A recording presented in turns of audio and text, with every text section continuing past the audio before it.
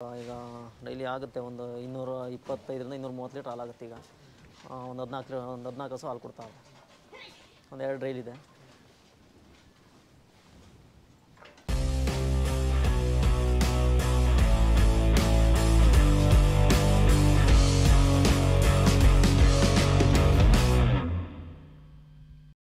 Sir ನಿಮ್ಮ ಪರಿಚಯ ಮಾಡ್ತೀವಿ ಸರ್ ಹಾಂ ನಮ್ಮ ಹೆಸರು ಸತೀಶ್ ಅಂತೇಳಿ. ಊರು ಬಂದು ಚಿಕ್ಕಲ್ದಳ್ಳಿ ಹಾಸನ ತಾಲೂಕು ಎಷ್ಟು ವರ್ಷದಿಂದ ಸರ್ ನೀವು ಈ ಹೈನುಗಾರಿಕೆ ಮಾಡ್ತಾ ಇದ್ದೀರಾ? ಮತ್ತು ಇದ್ರ ಬಗ್ಗೆ ನಿಮ್ಮ ಅಭಿಪ್ರಾಯ? ಹಸುಗಳು ಸಾಕಕ್ಕೆ ಹಿಡಿದು ನಾನು ಒಂದು ಎಂಟು ವರ್ಷ ಆಯಿತು. ಫಸ್ಟ್ ಸ್ಟಾರ್ಟಿಂಗು ಒಂದು ಹಸುವಿಂದ ಶುರು ಮಾಡಿತ್ತು. ಆಮೇಲೆ ಅನುಭವ ಆದಂಗೆ ಆದಂಗೆ ಆದಂಗೆ ಒಂದು ಐದು ವರ್ಷ ಮನೆ ಹತ್ರನೇ ಇದ್ದೆ ಆಗ ಒಂದು ಐದು ವರ್ಷ ಮಾಡ್ಕೊಂಡಿದ್ದೆ ಮನೆ ಹತ್ರ ಜಾಗ ಕಮ್ಮಿ ಇತ್ತಲ್ಲಿ. ಆಮೇಲೆ ಈಗ ಇಲ್ಲಿ ಒಂದು ಸ್ವಲ್ಪ ಬಂಡವಾಳ ಎಲ್ಲ ಆದಾಯ ಎಲ್ಲ ಚೆನ್ನಾಗಿ ಬಂಡವಾಳ ಎಲ್ಲ ಹಾಕೊಂಡು ಆದಾಯ ಎಲ್ಲ ಸ್ವಲ್ಪ ಚೆನ್ನಾಗಿ ಕಂಡ್ಮೇಲೆ ಇಲ್ಲಿಗೆ ಜಮೀನು ಹತ್ರ ಶಿಫ್ಟ್ ಆದವು ಇಲ್ಲಿ ಒಂದೇ ತನ ನಮ್ಮದು ಎಕರೆ ಜಾಗ ಇತ್ತು, ಇಲ್ಲೇ ಬೋರಲ್ಲೆಲ್ಲ ಇತ್ತು. ಇಲ್ಲಿಗೆ ಬಂದು ಸ್ವಲ್ಪ ಹಸುಗಳೆಲ್ಲ ಹಾಕೊಂಡು ಈಗ ಒಂದು ಹದಿನಾರು ಹಸು ಮಾಡಿದ್ದೀವಿ ಡೈಲಿ ಒಂದು ಇನ್ನೂರು ಲೀಟ್ರು ಈಗ ಡೈಲಿ ಆಗುತ್ತೆ ಒಂದು ಇನ್ನೂರ ಇಪ್ಪತ್ತೈದರಿಂದ ಇನ್ನೂರು ಮೂವತ್ತು ಲೀಟ್ರ್ ಹಾಲಾಗುತ್ತೆ ಈಗ. ಒಂದು ಹದಿನಾಲ್ಕು ಒಂದು ಹದಿನಾಲ್ಕು ಹಸು ಹಾಲು ಕೊಡ್ತಾವೆ ಒಂದು ಎರಡು ಡೈಲಿ ಇದೆ ಓ, ಈ ಹಸುಗಳನ್ನ ಸೆಲೆಕ್ಟ್ ಮಾಡಕ್ ಹೋದಾಗ ಕೆಲವರು ಹಲ್ಲುಗಳೆಲ್ಲ ಹಿಡ್ದು ನೋಡಿ ಕಣ್ಣಿನ ಹಾಂ ಹೌದು ಹೌದು.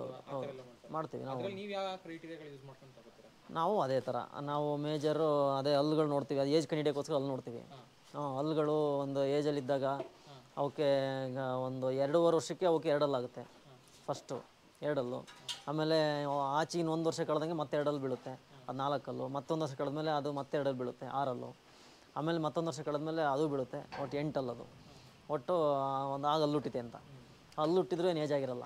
ಆ ಹಲ್ಲು ಆಮೇಲೆ ಇನ್ನೂ ಅದಕ್ಕೆ ವರ್ಷಗಳು ಕಳೆದಂಗೆ ಆ ಹಲ್ಲುಗಳು ಗ್ಯಾಪ್ ಬಿಡ್ತವೆ ಕಂಡಿ ಬಿಡ್ತವೆ ಆಗ ಒಂದು ಸ್ವಲ್ಪ ಏಜ್ ಅಂತ. ಅವು ಇನ್ನೂ ಒಂದು ಸ್ವಲ್ಪ ಕಳೆದ್ಮೇಲೆ ಆ ಹಲ್ಲುಗಳು ನೆತ್ತಿ ಹೊಡಿತವೆ. ಆ ತುದಿಗಳು ಸ್ಕ್ರ್ಯಾಚ್ ಆಯ್ತವೆ. ಆ ತುದಿ ಹೊಡಿತವೆ. ಆಗ ಇನ್ನೂ ಏಜ್ ಅಂತ. ಆಗ ಅವಕ್ಕೆ ಅವಕ್ಕೆ ಈಲ್ಡಿಂಗ್ ಹಾಲು ಇಂಡ ಕೆಪಾಸಿಟಿ ಇರಲ್ಲ. ವಯಸ್ಸಾಗಿದೆ ಅಂತ. ಅವಕ್ಕೆ ಮೇವು ತಿನ್ನೋ ಕೆಪಾಸಿಟಿನೂ ಇರಲ್ಲ. ಹ್ಞೂ ಅವು ಹೆಚ್ಚು ಕಮ್ಮಿ ಈಗ ಹಸುಗೆ ಆಯಸ್ಸೇ ಇಪ್ಪತ್ತು ವರ್ಷ.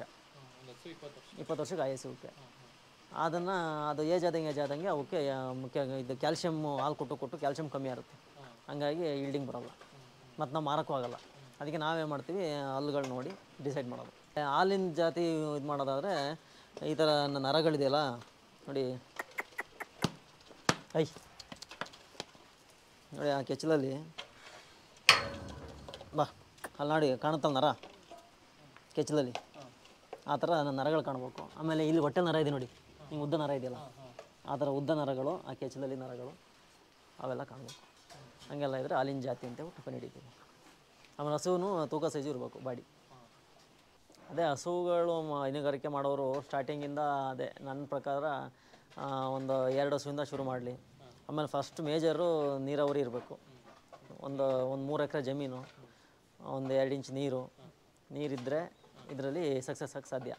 ನೀ ನೀರಾವರಿ ಇಲ್ಲ ಜಮೀನಿಲ್ಲ ಅಂತಂದರೆ ನಾವು ಏನೋ ಶೆಡ್ ಮಾಡಿ ಮೇವು ಕೊಂಡಾಕ್ತೀನಿ ಅಂತ ಯಾವುದೇ ಕಾರಣಕ್ಕೂ ಇದರಲ್ಲಿ ಲಾಭ ಕಮ್ಮಿ ಇದರಲ್ಲಿ. ಈ ಫಾರ್ಮಲ್ಲಿ ನಾನು ನಮ್ಮ ಅನುಭವದ ಪ್ರಕಾರ ಎಷ್ಟೋ ಜನ ಹಂಗಾಗಿ ಲಾಸ್ ಮಾಡ್ಕೊಂಡು ಹೋಗೋದು ಮೇಜರ್ ಇದರಲ್ಲಿ ನೀರಾವರಿ ಜಮೀನು ಆಮೇಲೆ ಶೆಡ್ ಮಾಡೋ ಜಾಗ ಆಮೇಲೆ ಸೆಲೆಕ್ಷನ್ ಸೆಲೆಕ್ಷನ್ ಮಾಡೋ ಬ್ರೀಡಿಂಗು ಹಸು ಹಸು ಬ್ರೀಡು ನೀರು ಜಾಗ ಹಸು ಬ್ರೀಡ್ ಹಸು ಬ್ರೀಡು ಮೂರು ಇಂಪಾರ್ಟೆಂಟ್ ಆಗ್ತವೆ. ಇವಾಗ ಆಮೇಲೆ ಸ್ಟಾರ್ಟಿಂಗು ಸಣ್ಣ ಮಟ್ಟದಿಂದ ಒಂದು ನಾಲ್ಕು ಹಸು ಸ್ಟಾರ್ಟಿಂಗ್ ತಂದರೆ ಆಮೇಲೆ ಒಂದು ಆರು ತಿಂಗಳು ಕಳೆದ್ಮೇಲೆ ಆ, ಈ ಥರ ಪ್ಲೇಸ್ ಮಾಡ್ಕೊಂಡು ಹೋಗ್ಬೇಕು.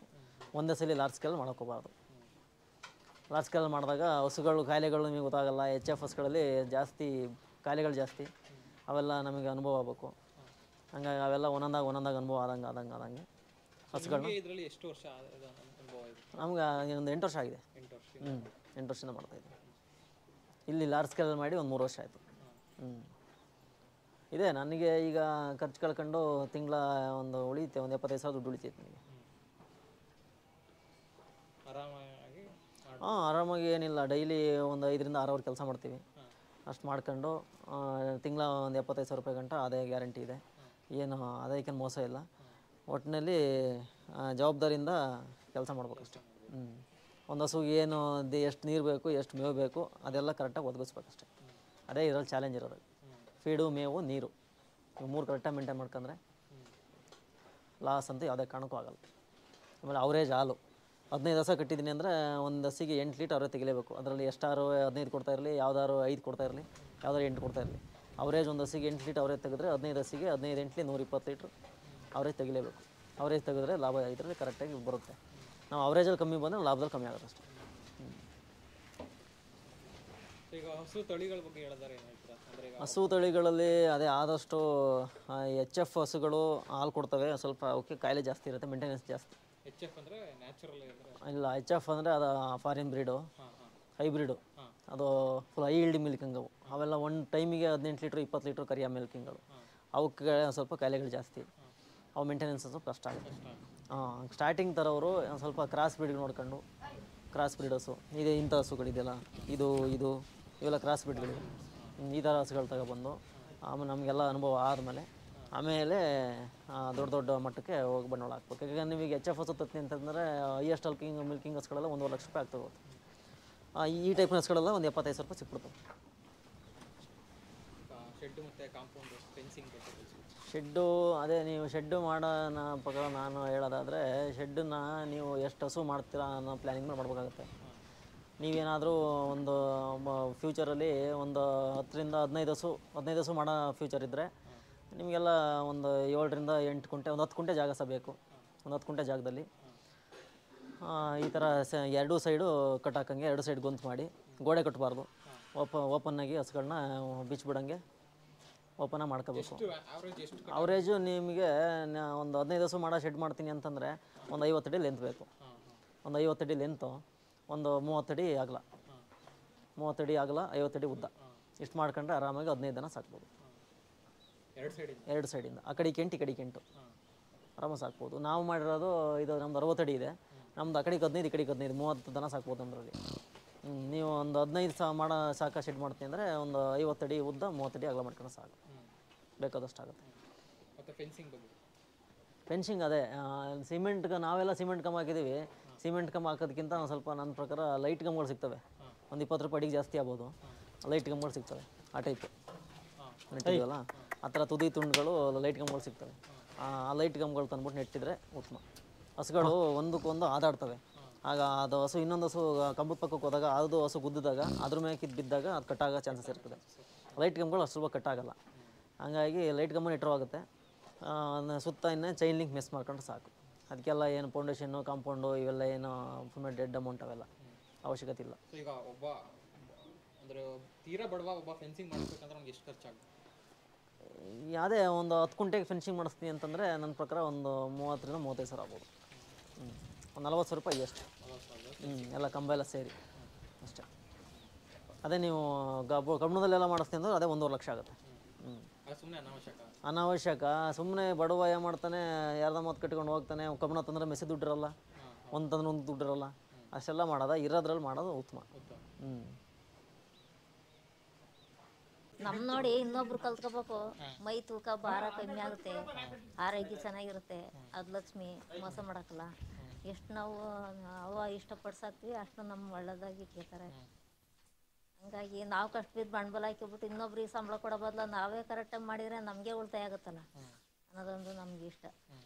ಅಂದರೆ ಮನೆಯವರೇ ಮಾಡೋದು ಉತ್ತಮ ಹ್ಞೂ ಮನಾರ ಮಾಡ್ಬೇಕು. ನಾವು ಬರ್ತಾರೆ, ಹಾಲು ಕರೀರಿ ಅಂದ್ರೆ ಹ್ಞೂ ಮಾರ್ನಿಂಗ್ ಕಡೆ, ನಾಳೆ ಕರಿತೀವಿ ಅಂತ ಹೇಳ್ತಾರೆ. ಅಷ್ಟೊತ್ತಿಗೆ ಕೆಚ್ಚಲು ಬಾವು ಆಗಿರುತ್ತೆ. ಅಮ್ಮ ಡಾಕ್ಟ್ರಿಗೆಲ್ಲ ಹಿಂಸೆ ಆಗುತ್ತಾಗ. ಅದ್ಕಂಡು ನಾವೇ, ನಮ್ಮ ಅನುಕೂಲಕ್ಕೆ ನಾವೇ ಮಾಡ್ಕೊಬಿಟ್ರೆ ನಮ್ಮ ಆರೋಗ್ಯ ಚೆನ್ನಾಗಿರುತ್ತೆ. ಕೆಲಸ ಮಾಡೋಕ್ಕೂ ಹಿಂಸೆ ಅನ್ಸಕ್ಕಲ್ಲ ನಮ್ಮ ನೋಡಿ ಇನ್ನೊಬ್ರು ಕಲಿಬೇಕು, ಮಾಡ್ಬೇಕು ನೋಡು. ಅವನ ಹೆಂಗೆ ಇಸ್ಪಿಟಾಡೋರು ಎಣ್ಣೆ ಕುಡಿಯೋರು ಜಾಸ್ತಿ ಆಗ್ಯವ್ರಿ ಈಗ. ಅವರೆಲ್ಲ ನೋಡು, ಅದೆಲ್ಲನೂ ಮಾಡೋ ಬದ್ಲು ಹಿಂಗೆಲ್ಲ ಬಯಸ್ಕೊಳ್ಳೋ ಬದ್ಲು ಹಿಂಗೆ ಮಾಡಿದ್ರು ಆಸೆ ಅಂತ ಕಲ್ತ್ಕೊಳ್ಳೋರು ಅವರೇ. ಇಲ್ಲ, ಅದು ಕಟ್ಗೆ ನಮ್ಗೇನು ಹೌದು ಅವನ ಅವನ ಅವನ ಅವನ ಹಣ ಬರೋದು. ಅದು ಅವನ ಅನುಕೂಲಕ್ಕೆ ಅವ್ನು ಮಾಡ್ಕೊತಾನೆ ನಾವು ಯಾಕಂಗೆ ಕಲಿಬೇಕು ಅಂತ ಹಿಂಗೂ ಅವರೇ. ಒಬ್ಬರ ಮೈಂಡ್ ಒಂದೊಂದು ಥರ ಇರುತ್ತೆ. ಅದೆಲ್ಲ ಆ ಭಗವಂತಂದ ನಮ್ಮ ಕೈಲಿಲ್ಲ. ಒಟ್ಟಿಗೆ ನಮ್ಮ ಆರೋಗ್ಯಕ್ಕೆ ನಾವು ಮಾಡ್ಬೇಕು ಅನ್ಸುತ್ತೆ ಮಾಡ್ತಾಯಿದ್ದೀವಿ ಅದು ಒಳ್ಳೇದು ಮಾಡೋದು ಕೆಟ್ಟದ್ದು ಮಾಡೋದು ನಮ್ಮ ಅಪ್ಪಂದು ಅದು ನಮ್ಮ ಕೈಲಿಲ್ಲ. ಸಮಾಧಾನ ಐತಿ ಇನ್ನೂ ಜಾಸ್ತಿ ಜಾಸ್ತಿ ಮಾಡ್ಬೇಕು ಅನ್ಸುತ್ತೆ. ಮಾರಬಾರ್ದು ಒಟ್ಟಿಗೆ ಅಚ್ಚುಕಟ್ಟಾಗಿ ನಮ್ಮ ಜೊತೆ ಹೊಂದ್ಕೊಂಡವಲ್ಲ ಮಾರ್ಬಾರ್ದು ಮಾಡ್ಬೇಕು ಮಾಡ್ಬೇಕು ಅನ್ಸುತ್ತೆ. ಮಾಡ್ಕೊ ಹೋಗ್ತಾ ಇರ್ತೀವಿ ನೋಡೋಣ ಎಲ್ಲಿ ಗಂಟ ಆಗುತ್ತೆ? ಅಂದರೆ ನಮ್ಮ ನೆಂಟ್ರಿಗೂ ಹೊಂದ್ಕೊಂಡು ಮಾಡೋ ಅಂತಾರೆ ಬಂದರೆ ಹೆಂಗ್ಸುಗಳು ಮಾಡ್ಕೋಬೋದು ಇಲ್ಲ ಸಂಗ್ಳಿ ಮುಟ್ರಿ ಕೈ ವಯಸ್ಸು ನೋಡ್ತೈತಿ ನಾವು ಮುಟ್ಟಕ್ಕಲ್ಲ ಅಂದರೆ ಲೇಬರ್ ಇಟ್ ಮೇಂಟೈನ್ ಮಾಡ್ಕೋಬೋದು ಅದು ಬಿಟ್ರೆ ಒಟ್ಟಿಗೆ ಅದೆಲ್ಲ ಅವ್ರವ್ರ ಮನಸ್ಸು ಹಾಂ. ನಿಸ್ನಂತ ಹೋಗುತ್ತೆ? ಇದು ಅಂದರೆ ನಮ್ಮ ಕೆಲಸ ಆರಾಮು. ಹ್ಞೂ ಈಗ ಮೇವು ತಿಂದ್ವ ಆ ಕಡೆಗೆ ಹೋಗಿ ನೀರು ಕುಡಿದು ಮಂಕೇತವ ನಾವು ಏನಾದ್ರು ಮಾಡ್ಕೋಬೋದು ನಮ್ಮ ಕೆಲಸ ನಮ್ಗೆ ಆರಾಮಾಗಿರುತ್ತೆ. ಅದಕ್ಕೆ ಬೇರೆ ಕಡೆಗೆ ಅವನು ಸುಮಾರು ಕಂಪ್ನಿಗೆಲ್ಲ ಹೋಗಿ ನೋಡ್ದ. ಎಲ್ಲೂ ಅಡ್ಜಸ್ಟ್ ಆಗಲಿಲ್ಲ. ನೈಟು ಆಗಲು ಎಲ್ಲ ಶಿಫ್ಟ್ ಮಾಡಿ ಪೋಸ್ಟ್ ಹಂಚಕ್ಕೆ ಎಲ್ಲ ಹೋಗಿ ನೋಡ್ದ. ಆಗ್ಲಿಲ್ಲ. ಕಡೆಗೆ ನನ್ನ ಕಾಲ ಮೇಲೆ ನಾನು ನಿಂತ್ಕೊಬಿಟ್ರೆ ಇದೇ ಒಳ್ಳೆ ಕೆಲಸ ಅಂತ. ಅವ್ನು ಬೆಂಗಳೂರಿಗೆ ಎಲ್ಲ ಹೋಗಿ ಕಂತು ಕಟ್ಟಕ್ಕೆ ಅದಕ್ಕೆಲ್ಲ ಫ್ಯಾಕ್ಟ್ರಿಗೆ ಪ್ರೈವೇಟ್ ಬ್ಯಾಂಕಿಗೆಲ್ಲ ಸೇರಿ ಸುಸ್ತಾಗಿ ಕಡೆಗೆ ಈ ಥರ ಅಪಾಯಿಂಟ್ ಮಾಡ್ತಾವನೆ. ನಮ್ಗಿದೆ ಅನ್ಸಿದೆ ಎಲ್ಲ ಇದೆ ಒಳ್ಳೆ ಚೆನ್ನಾಗಿದೆ ಹ್ಞೂ ಇದೆ ನಮ್ಗೆ ಆರಾಮಾಗಿದ್ವಿ. ಯಾರು ಅದ್ಲು ಸರ್ ಇಲ್ಲ ಅದು ಮಾಡಿದೆ ಇದು ಮಾಡ್ದೆ ಎಲ್ಲಿ ಹೋಯ್ದೆ ಅಂತ ಕೇಳೋರಿಲ್ಲ. ನಮ್ಮ ಕ ನಮ್ಮ ಪಾಡಿಗೆ ನಾವು ಏನೋ ಆರಾಮಾಗಿ ಹಸುಗ್ ಅದೇ. ಹಸುಗೆ ಬೇಕಾದ್ರೆ ನೀವು ಹತ್ತು ಸಾವಿರ ರೂಪಾಯಿ ಜಾಸ್ತಿ ಹಾಕಿ ಅದು ನಿಮ್ಗೆ ರಿಟರ್ನ್ ಅದು ಇನ್ನು ಈ ಶೆಡ್ಗಾಗಲಿ ಅದಕ್ಕಾಗಲಿ ಇದಕ್ಕಾಗಲಿ ಯಾವುದಕ್ಕೆ ಹಾಕಿದ್ರು ಅದು ನಮ್ಗೆ ರಿಟರ್ನ್ ಆಗಲ್ಲ.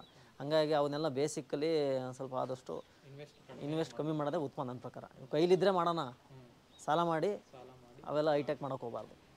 ಯಾಕಂದ್ರೆ ಸಾಲ ಮಾಡ್ಬೇಕಾದ್ರೆ ಹೈಟೆಕ್ ಹಸು ತಗೊಬನ್ನಿ ನಡೀತಿತ್ತೆ. ಅದು ಕರು ಹಾಕುತ್ತೆ, ಹಾಲು ಕೊಡುತ್ತೆ, ಅದೇ ಬರ್ತದೆ. ನಮಗೆ ಇದರಿಂದ ಸುಮ್ಮನೆ ಜನ ನೋಡೋಕೆ ಚೆನ್ನಾಗಿ ಕಾಣುತ್ತೆ ಅಷ್ಟೇ ಇದು. ನಮಗೇನು ಅನುಕೂಲ ಇಲ್ಲ. ಯಾವ್ದು ಗೊತ್ತಾ? ಆ ಕಡೆ ನಮ್ಮ ಸಣ್ಣ ಕರು ಇದೆಯಲ್ಲ? ಆ ಕೆಂದ ಕರು ಇದೆಯಲ್ಲ ಸಣ್ಣದು? ಈಗ ಹಾಕಿದೆಯಲ್ಲ? ಅದು ಜರ್ಸಿ ಅದು. ಅದು ಫುಲ್ ಜರ್ಸಿ ಅದು.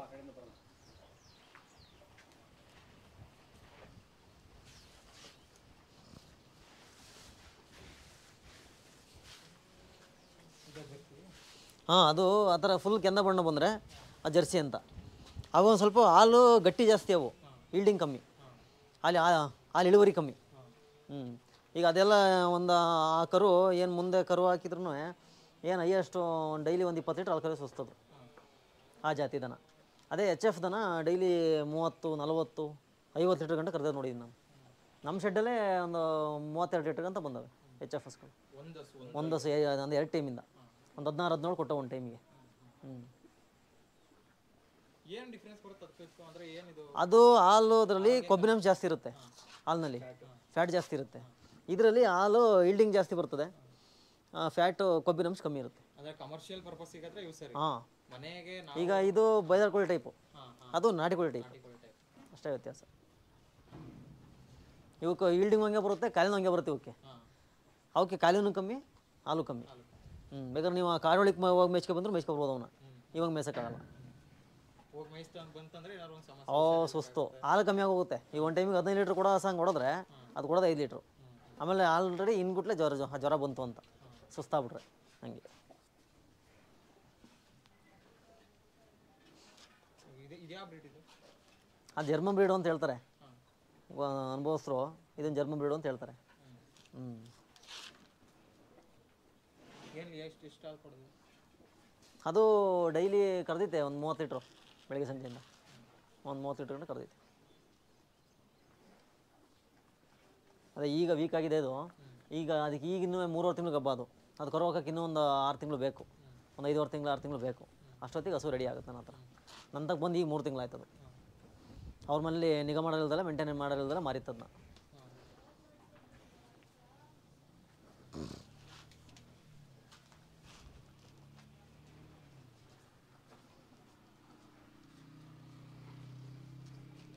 ಮೇಜರ್ ಇದರಲ್ಲಿ ಅದೇ ಸಾಕ್ಬೇಕು ಚೆನ್ನಾಗಿ ಫೀಡ್ ಮೇಂಟೈನ್ ಮಾಡಬೇಕು. ಸಾಕ್ಬೇಕು. ಈ ದನ ನೋಡಿ ಈ ದನ ನಾನು ಹೋದ ಸಲ ತಂದಾಗ ಇದ್ರ ಬೆಲೆ ಎಪ್ಪತ್ತಾರು ಸಾವಿರ. ಈ ಸಲ ಇದನ್ನೇ ನನಗೆ ಒಂದು ಮೂವತ್ತು ಕೇಳಿದರು. ನಾನು ಮಾರತನ ಹೇಳ್ತಿಲ್ಲ ಅವರಿಗೆ. ಸುಮ್ಮನೆ ಬೇರೆ ಇನ್ನು ಬೇರೆ ಹಸು ನೋಡೋಕೆ ಬಂದಾಗ ಇದನ್ನು ಕೊಡಿ ಕೊಡ್ತೀನಿ ಒಂದು ಒಂದು ಮೂವತ್ತು ಕೇಳಿದರು. ಕೊಡಲ್ಲ ಅಂದೆ. ಇದು ಒಂದು ಡೈಲಿ ಒಂದು ಮೂವತ್ತು ಲೀಟ್ರ್ ಮೇಲೆ ಕರೀತಾ ಇದು ಹಾಂ ಅದು ಬಾಡಿ ಸ್ಕೋರಿಗೆ ತಕ್ಕಂಗೆ ನಾವು ಫೀಡ್ ಮೇಂಟೈನ್ ಮಾಡಬೇಕು. ಆಗ ಅದು ಇನ್ನೂ ಇಗ್ಗುತ್ತೆ ಬಾಡಿ ಅದು. ನಾವು ಅದು ಅದಕ್ಕೆ ತಿನ್ನ ತಿನ್ನೋಕೆ ಹಸು ತಿನ್ನೋ ಕೆಪಾಸಿಟಿ ಇರುತ್ತೆ ನಾವು ಅದಕ್ಕೆ ಹಾಕ್ತಾ ಇರಲ್ಲ. ಆಗ ಇನ್ನೂ ಬಾಡಿ ಡೌನ್ ಆಗ್ತಾ ಬರುತ್ತೆ ಹಂಗೆ ನಾವು ಸೆಲೆಕ್ಷನ್ ಮಾಡ್ಬೇಕಾದ್ರೆ ಈ ಥರ ತೂಕ ಸೈಜರು ಹಿಡಿಬೇಕು. ಅದ್ರ ತಕ್ಕನ ಕೊಡ್ಬೇಕು ಮೇಂಟೆನೆನ್ಸು ಫೀಡು ಮೇವು ಚೆನ್ನಾಗಿ ಕೊಟ್ಟಾಗ ಅದು ಇನ್ನೂ ಡಬಲ್ ಆಗುತ್ತದೆ ಬಾಡಿ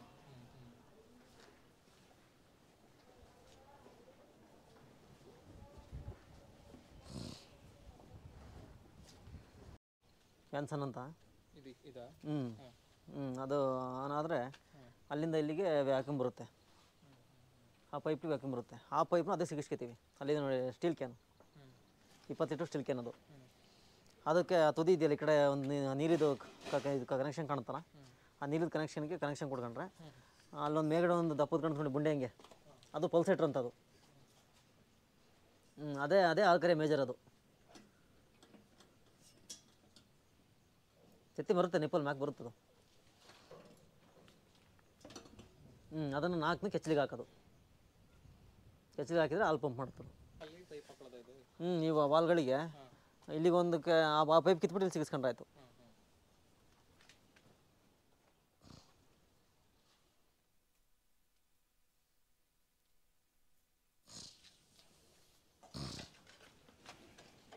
ಇಲ್ಲ ಹೇಳಿದ್ನಲ್ಲ? ನಿಮ್ಮ ಒಂದು ಒಟ್ಟ ಅಭಿಪ್ರಾಯ ಒಟ್ಟಿನಲ್ಲಿ ಇವಾಗ. ಈ ಸಮ ಈಗ ಈಗ ಪ್ರೆಸೆಂಟ್ ಇರೋ ಸಿಚುವೇಶನ್ ಅಲ್ಲಿ ರೈತರು ಈಗ ಇರೋ ಸಿಚುಯೇಷನ್ ಅಲ್ಲಿ ಬೆಳೆ ಹೋಲಿಸ್ಕೊಂಡ್ರೆ ಅಂದ್ರೆ ಭೂಮಿ ಮೇಲೆ ದುಡ್ದಿ ಬೆಳೆಯಲ್ಲಿ ನಾವು ಆದಾಯ ಮಾಡ್ತೀನಿ ಅನ್ನೋದಕ್ಕೂ ಈಗ ಹೈನುಗಾರಿಕೆ ಅಥವಾ ಕುರಿ ಸಾಗಾಣಿಕೆ ಇದರಲ್ಲಿ ಆದಾಯ ಮಾಡ್ತೀನಿ ಅನ್ನೋದಕ್ಕೂ ನಿಮ್ಮ ಒಂದು ಅಭಿಪ್ರಾಯದಲ್ಲಿ ಯಾವುದು ಉತ್ತಮ? ಅಲ್ಲ ಅದು ಹೈನುಗಾರಿಕೆನೇ ಉತ್ತಮ. ಎಲ್ಲದಕ್ಕಿಂತ ಇದರಲ್ಲಿ ದುಡ್ಡು ರಿಟರ್ನ್ಸ್ ಗ್ಯಾರಂಟಿ ಇದೆ. ನಾವು ಏನಾದ್ರು ಕಮಿಟ್ಮೆಂಟ್ ಇಟ್ಕೋಬೋದು ಇದರಲ್ಲಿ. ಇದು ಇದು ಇದನ್ನ ನಂಬ್ಕೊಂಡು ನಾವು ಏನಾದ್ರು ಕಮಿಟ್ಮೆಂಟ್ ಇಟ್ಕೋಬೋದು. ತಿಂಗಳ ಕಮಿಟ್ಮೆಂಟು ಈಗ ಒಂದು ಚೀಟಿ ಹಾಕತ್ತೀವಿ ಅಂದ್ಕೊಳ್ಳಿ ಅದಕ್ಕೆ ತಿಂಗಳ ಕಮಿಟ್ಮೆಂಟ್ ಈಗ ಬೆಳೆಗಳು ನಂಬ್ಕೊಂಡು ನಾವು ಜೋಳ ಹಾಕಿದರೆ ಅದು ಬರೋದು ಐದು ತಿಂಗಳಾಗುತ್ತೆ. ಆಮೇಲೆ ಮಳೆ ಬಂದರೆ ಚೆನ್ನಾಗಿ ಬರುತ್ತೆ ಜೋಳ ಇಲ್ಲ ಅಂದ್ರೆ ಬರೋಲ್ಲ. ಈಗ ಈಗ ಐದು ತಿಂಗಳ ಗಂಟ ನಾವು ಮನೆ ಸಂಸಾರ ನಡೆಯೋದಂಗೆ ತಿಂಗಳ ಕಮಿಟ್ಮೆಂಟ್ಗಳು ಇವೆಲ್ಲ ನಿಭಾಯಿಸೋಕ್ಕಾಗಲ್ಲ ಹಂಗಾಗಿ ಈಗ ಹೈನುಗಾರಿಕೆ ಈಗ ಆಮೇಲೆ ಕುರಿ ಸಾಕಾಣಿಕೆನೂ ಅಷ್ಟೇ ಅವೆಲ್ಲ ಕುರಿ ಸಾಕಾಣಿಕೆಗಳು ಹೆಂಗೆ ಅಂತಂದರೆ ಅದು ಒಂದು ಕುರಿ ತಂದರೆ ಅದು ನಾವು ಮಾರೋಕ್ಕೆ ಕಮ್ಮಿ ಅಂದರೆ ಒಂದು ವರ್ಷ ಬೇಕು. ಹತ್ತರಿಂದ ಹನ್ನೆರಡು ತಿಂಗಳು ಬೇಕು. ಅಲ್ಲಿ ಗಂಟ ನಾವು ಕೈಯಿಂದನೇ ಹಾಕ್ತಾನೆ ಇರಬೇಕು. ಇದು ಹಂಗಲ್ಲ. ನೀವು ನಾವು ಒಂದು ಹಸು ಬಂದ್ರೆ ಅದು ಕರು ಹಾಕಿದರೆ ದುಡ್ಡು ಡೈಲಿ ಬರ್ತಾನೆ ಇರುತ್ತೆ. ಮತ್ತೇನು ನಾವು ದುಡ್ಡು ನಿಲ್ಲ ಅಂತ ಈ ಪದಾರ್ಥ ಅಲ್ಲ ಇದು. ಆಮೇಲೆ ಏಳು ತಿಂಗಳು ಪ್ರೆಗ್ನೆಂಟ್ ಆದಮೇಲೆ ಹಾಲು ನಿಲ್ಲಿಸ್ತೀವಿ ಮತ್ತೆ ಎರಡು ತಿಂಗಳು ಗ್ಯಾಪು ಮತ್ತೆ ಕರು ಹಾಕುತ್ತೆ. ಹಂಗಾಗಿ ರಿಟರ್ನ್ಸ್ ಬರ್ತಾನೆ ಇರುತ್ತೆ. ಹಂಗಾಗಿ ಬೆಳೆಗಳು ಕೇಳೋದಕ್ಕಿಂತ ಇದು ಉತ್ತಮ. ಅಂದರೆ ಮೇಜರು ಇದಕ್ಕೆ ಇದ್ರದ್ದೇ ಆದಂಥ ಒಂದು ಪ್ರೊಸೀಜರ್ ಇದೆಯಲ್ಲ ಅದನ್ನು ಫಾಲೋ ಮಾಡ್ಕೊಂಡು ಮಾಡ್ಬೇಕಷ್ಟೆ ಅದ್ರ ಬಗ್ಗೆ ತಿಳ್ಕೊಂಡು ಅಧ್ಯಯನ ಮಾಡಿ ಅನುಭವಗಳು ಆದಂಗೆ ಆದಂಗೆ ಬಂಡವಾಳ ಹಾಕೊಂಡು ಹೋಗ್ಬೇಕು ಒಂದೇ ಸಲ ದೊಡ್ಡ ಮಟ್ಟಕ್ಕೆ ಬಂಡವಾಳ ಹಾಕಕ್ಕೆ ಹೋಗ್ಬಾರ್ದು. ಯಾಕೆಂದರೆ ಬಂಡವಾಳ ಕಳ್ಕೊಂಡ್ರೆ ಮತ್ತೆ ಕೊಡೋಕ್ಕಾಗಲ್ಲ